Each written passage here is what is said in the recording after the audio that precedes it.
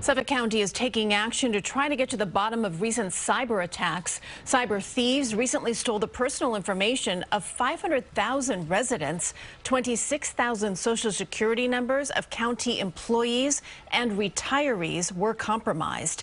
In addition, 470,000 driver's license numbers of people who got traffic tickets over the past decade. Lawmakers say that they're concerned and want to make sure this doesn't happen again. Uh, we, this is not going to be a witch hunt. We have formatted a bipartisan committee to get to the bottom of what happened. Suffolk County officials first discovered the cyber attack on September 8th of this year.